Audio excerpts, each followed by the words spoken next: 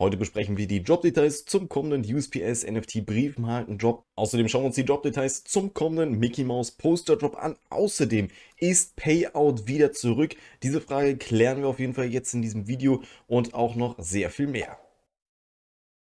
Willkommen an Bord, ich bin's, dein Captain, dein VV-OG mit den wichtigsten VV-News, die du da draußen auf jeden Fall wissen solltest. Und ich komme tatsächlich gerade aus dem Stream, und zwar nämlich dem ersten Collector Talk. Ich kann ihn dir auf jeden Fall nur ans Herz legen, wenn dich auf jeden Fall das Thema Sammeln und auch das Thema Grading von Comics interessiert. Dort haben wir auf jeden Fall einige Aspekte davon auch besprochen. Das heißt, wenn es dich interessiert, Link dazu findest du unten in der Videobeschreibung. Jetzt würde ich aber sagen, let's go up ins Video. Ich würde sagen, als allererstes schauen wir uns auf jeden Fall den nächsten Drop an und der wird nämlich am 21. Januar, also am Samstag um 17 Uhr deutscher Zeit droppen und das ist nämlich an dieser Stelle hier die nächste Series von der USPS und zwar nämlich die Briefmarken-Series von den Hasen bzw. dem Jahr des Hasens und das schauen wir uns auf jeden Fall an. Das Ganze wird natürlich im Blindbox-Format wie immer sein. Insgesamt gibt es nur zwei Editions und zwar nämlich einmal die Uncommon an dieser Stelle. Das ist einmal die Uncommon und wir werden dazu natürlich einen Listpreis von 6 Gems bekommen und eine Edition-Zahl von nur 8000 888 Stück. Außerdem wird es natürlich wie immer eine First Edition sein. Anschließend haben wir dann auf jeden Fall hier die Secret Rare auf jeden Fall mit dabei und das wird ziemlich interessant, denn hier haben wir natürlich auch einen Listenpreis von 6 Gems, aber nur eine Edition-Zahl von 888 Stück. Natürlich eine First Edition, aber das wird auf jeden Fall ein sehr interessanter Gamble an dieser Stelle, denn ja, hier hatten wir im Prinzip die Chance, eine Secret zu bekommen oder halt einfach nur eine Uncommon. Ja, ich bin auf jeden Fall gespannt auf deine Meinung. Nimmst du den ganzen Job mit oder lässt du den ganzen Job aus? Für den MCP könnte das auf jeden Fall an dieser Stelle auch ein sehr interessantes Set werden.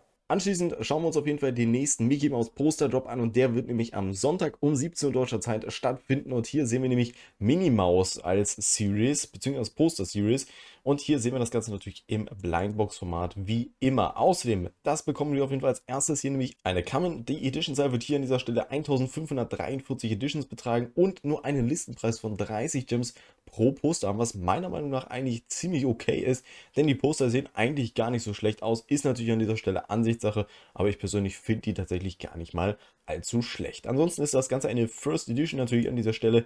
Anschließend haben wir dann hier einmal eine Uncommon. Das ist tatsächlich auch kein schlechtes Bild, muss ich ganz ehrlich sagen. Also als Mickey Mouse Fan ist das auf jeden Fall etwas, was man mal mitnehmen kann für 30 Gems. Nichtsdestotrotz denke ich auf jeden Fall, dass es aber unter Droppreis fallen könnte, muss ich ganz klar an dieser Stelle betonen, obwohl es die Edition-Zahl an dieser Stelle eventuell aber auch retten könnte. Die Uncommon hat an dieser Stelle nämlich nur 1243 Editions, ist natürlich auch eine First Edition. Anschließend haben wir dann die Rare, die sieht auch gar nicht schlecht aus, hat an dieser Stelle aber nur 943 Editions. Da werden natürlich aber pro Collectible nochmal Editions abgezogen, die sich Vivi bzw. Disney selber einbehält. Das Ganze ist natürlich auch, wie gesagt, eine First Edition. Anschließend haben wir dann natürlich die Ultra mit dabei. Das Ganze wird nur 743 Editions haben, was wirklich extrem wenig ist. Und als letztes haben wir dann auf jeden Fall noch natürlich die Secret Rare und die wird nur insgesamt 343 Editions haben, also wirklich, wirklich super wenig. Und das könnte tatsächlich wirklich ein Collectible werden, so ein Poster werden, was bis zu 300 Gems wert sein könnte nach dem Drop. Du kannst mir auf jeden Fall mal sehr gerne deine Meinung zu dem ganzen Drop in die Kommentare schreiben. Nimmst du den ganzen Drop mit oder lässt du ihn aus? Anschließend haben wir auf jeden Fall die große Frage, ist Payout wieder back? Und ja, Payout ist wieder back. Und zwar hat das Ganze nämlich Vivi heute hier in ihrem Rollout-Plan nämlich auch aktualisiert. Wenn wir hier runter dann seht ihr das auf jeden Fall hier. 20. Januar, Payout via Wire is now re-enabled. Support is online and all transactions will be closely monitored. Das heißt, Vivi hat hier im Prinzip das Ganze wieder mit Wire aufgenommen. Das heißt, anscheinend ist hier alles in Ordnung mit Wire und der Vorgang wird erstmal auf jeden Fall weiter so vorgeführt, wie er vorher war. Das heißt, ihr habt jetzt tatsächlich aber auch für alle, die es falsch noch im Kopf haben, ein Auszahllimit von nur 500 Gems, nicht 1000 Gems. Das auf jeden Fall an dieser Stelle noch ganz kurz als Erwähnung dazu.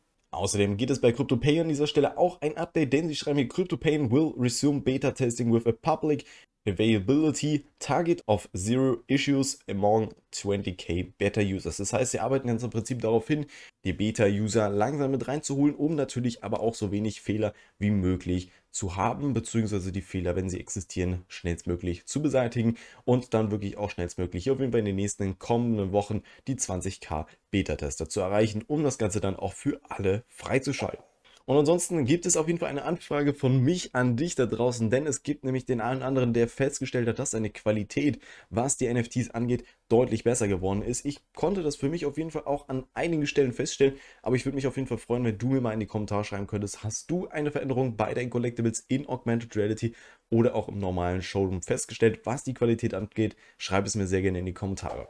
Für alle Leute, die übrigens bei VMate noch aktiv sind, die haben bald die Möglichkeit, hier auf jeden Fall dann auch wirklich ihr OMI-Staking zu machen, um dann bestimmte Funktionen freizuschalten, die dann halt auch wirklich nur für Leute sind, die an dieser Stelle hier auf jeden Fall dann 200 Dollar in OMI staken oder 100 Dollar in VMate.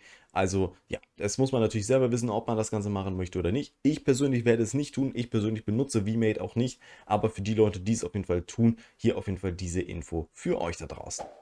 Und das war es an dieser Stelle auch schon wieder mit dem ganzen Video. Wenn dir da draußen das ganze Video gefallen hat, dann gib dem ganzen Video sehr gerne ein Like. Und ansonsten wünsche ich dir auf jeden Fall ein wunderschönes Wochenende. Genieß die Zeit und wir sehen uns dann auf jeden Fall im nächsten Video. Bis dahin, dein Captain. Ciao, ciao.